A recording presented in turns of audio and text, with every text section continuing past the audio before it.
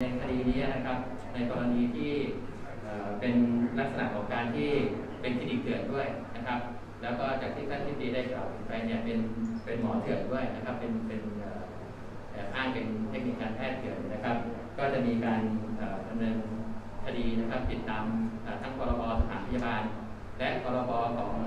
วิชาชีพเอ่อเป็นเทคนิคการแพทย์นะครับ ก็มีโทษนะครับสูงสุดนะครับจำคุก5ปีนะครับแล้วก็ หรือปรับนะครับไม่ไม่เกิน1 0 0 0 0แสนบาทนะครับหรือทั้งจำทั้งปรับครับ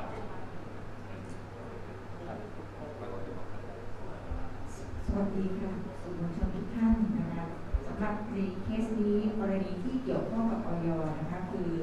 เราพบว่าสถานที่แห่งนี้เนี่ยรับตรวจโควิดโดยใช้ชุด ATK นะคะคิดค่าที่จ่าย 500 บาทต่อคนแล้วก็ออกไปรับรองว่าติดหรือไม่ติด แต่นี่สิ่งที่ที่น่ากังวลใจ และอยากเตือนนะคะสำหรับประชาชนทั่วไปก็คือว่าชุด ATK ที่ออยเราอนุญาตมีสองประเภท ประเภทแรกคือสามารถใช้ด้วยตนเองนะคะที่เรียกว่า home use นะคะกับอีกชนิดหนึ่งเนี่ยใช้โดยบุคลากรทางการแพทย์ที่เรียกว่า professional use ซึ่งถ้าเป็น home use เนี่ยเราสามารถซื้อได้ทั่วไปนะคะทั้งร้านขายยาหรือร้านค้าออนไลน์เนี่ยก้านของตัวสวอปเนี่ย นะคะจะเป็นก้านไม้ที่สั้นนะคะเวลาสวอปเนี่ยสวอปที่โพรงจมูกด้านหน้า หรือชุดทดสอบบางอย่างก็อาจจะใช้น้ำลาย อันนี้คือ home use ราคาก็จะอยู่ประมาณไม่เกิน 100 บาทนะคะตอนนี้เนี่ยมีบริษัทที่ได้รับอนุญาตไปแล้ว 161 ราย อันนี้ก็จะเป็นราคาย่อมเยาวเป็นการทดสอบเบื้องต้น แต่สำหรับ professional use เนี่ยนะคะลักษณะจะแตกต่างจาก home use คือตัวสวอปเนี่ยนะคะจะเป็นก้านไม้ที่ยาว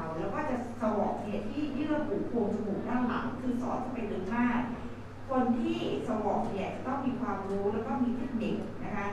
จะใช้เฉพาะผู้เชี่ยวชาญเท่านั้น สถานที่แห่งนี้เนี่ยหลอกลวงคนที่มาใช้บริการ โดยเอาชุด ATK ที่เป็น home use มา ที่เราสามารถหาซื้อได้ทั่วไป แล้วมาหลอกนะคะว่าใช้โดย professional use และคิดราคาสูง คิดราคาครั้งหนึ่งเนี่ยประมาณ500บาท ซึ่งถ้าหากว่าเราใช้ home use เนี่ยก็ราคาไม่เกินร้อยบาทแล้วออกไปรับรองด้วย ตรวจโดยใช้ชุด ATK เนี่ยเป็นการทดสอบเบื้องต้นนะคะ การออกไปรับรองเนี่ยจะใช้จริง ๆ ในกรณีที่เป็นการตรวจด้วย RT-PCR นะคะ เพราะฉะนั้นเนี่ยออยก็ขอเตือนนะคะประชาชนนะคะว่าเวลาที่ท่านไปใช้บริการในการตรวจ ATK ณสถานพยาบาลต่างๆเนี่ยขอให้เขาดูเอากล่องให้ดูนิดนึงว่าเป็น ATK ที่ผ่านการอนุญาตจากออยแล้วหรือเปล่า เป็นลักษณะที่เป็น professional use นะ ไม่ใช่ home use นะคะ เราจะได้เสียเงินที่คุ้มค่านะคะ ได้ผลในระดับที่ต้องการนะคะ ถ้าท่านสงสัยนะคะว่าชุด ATK ที่ออยอนุญาตไม่ว่าจะเป็น home use หรือ professional use เนี่ย มีใครบ้างที่ห้ออะไรบ้างใครเป็นผู้นำเข้านะคะ ตรวจสอบได้นะคะที่เว็บไซต์ออยอยู่หน้าแรกเลยนะคะ ทั้งชุด ATK ทั้ง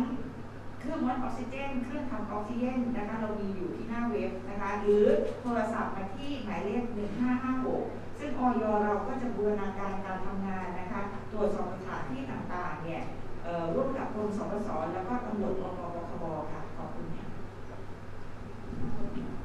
มีคำถามเชิญเชิญครับ จากการสอบสวนผู้ต้องหาให้การว่ายังไงบ้างคะ ก็ผู้ต้องหาทั้งสองนะครับที่เป็นเอ่อตัวหลักก็ทั้งสองท่านเลยก็ให้การรับสารภาพนะครับแต่ที่บอกว่า น่าเป็นห่วงคือคนที่เราเอสายไปตรวจ ATK นะฮะปรากฏว่าลองถามเขาว่าเขาจะเขาจบระดับไหนมาน่าสนใจคือจบแค่ม .3 นะครับ แล้วทำการตรวจแล้วเขาจะใส่ยูนิฟอร์ม ที่คล้ายของสสจเลยถามว่าทำไมถึงใส่เราบอกว่าเพื่อสร้างมาตรฐานของคลินิกให้คนที่เข้ามาใช้บริการมั่นใจนะครับตรงนี้ส่วนเจ้าของที่เขารับสารภาพนั้นก็เปิดคุณคลินิกเนี่ยมาก็ประมาณ บอกล้เดือนที่เขาทำอะไรบ้างคะนอกจากตรวจเอ็นเคหรือว่าเปิดมาเพื่อรับตรวโดยเฉพาะเลย ก็เรื่องต้นที่พี่บอกที่เราเจอครับตอนแรกที่เราไปคือเรื่องเอ็นเคแต่พอเราเข้าไปตรวจค้นเนี่ยเราก็เจอเรื่องเกี่ยวกับการตรวจของโรงของโรงงานโดยสภาพประจำปีของโรงงานต่างๆนะครับซึ่งตรงนี้เขาก็รับตรวจนะครับซึ่งที่บอกก็คือไม่น่าเป็นห่วงครับว่าเขาก็ไม่ได้